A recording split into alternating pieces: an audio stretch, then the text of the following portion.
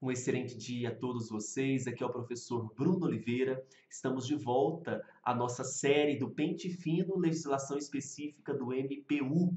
E hoje, nesta quinta-feira, uma grande notícia chegou para nós em relação à definição da banca para o concurso, banca CESP. A qualquer momento, o edital estará na praça. E como estão os estudos? Nós vamos continuar tanto na teoria da Lei Complementar 75 de 93, que já temos uma playlist que já tem vários vídeos, né? nós já estudamos aí é, até o artigo 160, se eu não me engano, então temos ainda um caminho longo pela frente, mas você já pode acompanhar a playlist com esse curso gratuito. Temos também a resolução das questões da última prova de 2013, vídeos também no meu canal do YouTube, e agora esse pente fino com a legislação é, específica, trazendo por questões. Como a banca CESP foi definida, nós vamos trabalhar agora com questões CESP. A questão de hoje foi cobrada no STJ desse ano, 2018, e traz o seguinte tópico.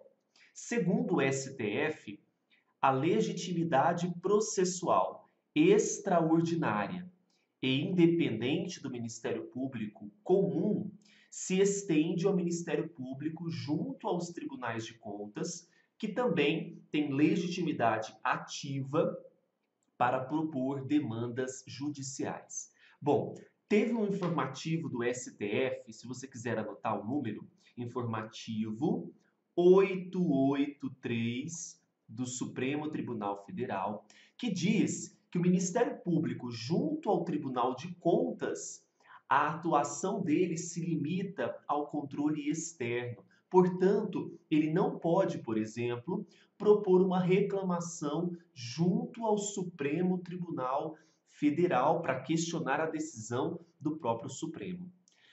Essa, então, legitimidade processual extraordinária e independente que possui o Ministério Público não se estenderá ao Ministério Público junto ao tribunais, aos tribunais de contas. Então, a atuação desse Ministério Público, que não é ramo nem do Ministério Público da União, nem do Ministério Público dos Estados, é perante somente os tribunais de contas. Não possuirá, então, legitimidade processual extraordinária e independente, como possui o Ministério Público Comum. Ok? Essa foi uma é, orientação do próprio Supremo Tribunal Federal. Para melhor entendimento, leiam o informativo 883 do STF. Portanto, a questão 9 de 100 está incorreta.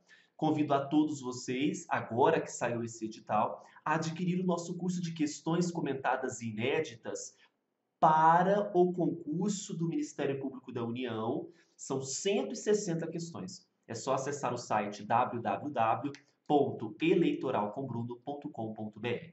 Um grande abraço, bons estudos e até a próxima dica. Tchau, tchau.